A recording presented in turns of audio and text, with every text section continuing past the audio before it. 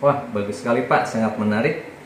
Banyak pencerahan yang kita peroleh, juga kiat-kiat bagaimana menulis artikel yang baik supaya tembus di jurnal internasional yang terindeks.